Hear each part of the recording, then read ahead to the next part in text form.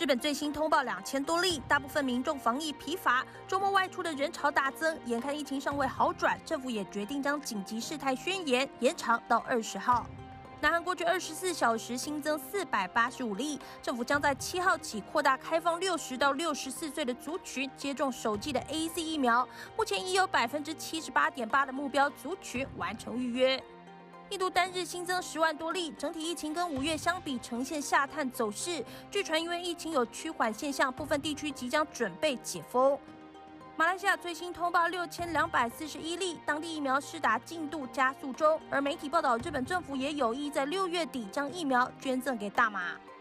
越南最新通报两百零六人染疫，国内疫情不乐观，同时陷入疫苗短缺状况。卫生部长表示，鼓励地方政府和企业自行透过卫生部许可的进口商进口疫苗。印尼曲线走升后又下探，过去一天新增五千八百三十二例。中国外长王毅和印尼总统特使卢胡特在中国印尼高级别对话合作机制会议谈到，双方将展开疫苗合作，协助印尼建设疫苗生产中心。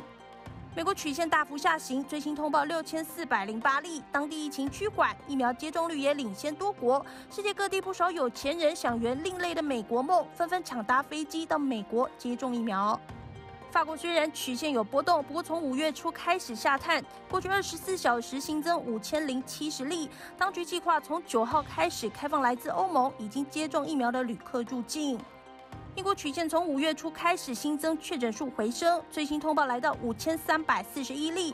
卫生大臣韩考克表示，Delta 变种病毒比造成英国上一波疫情的 Alpha 变种病毒比起来，传染率高出四成。德国单日新增一千八百四十五例，疫情明显有趋缓迹象。为了保持低确诊率，当局也宣布从七号起，每一位民众都可以接种疫苗。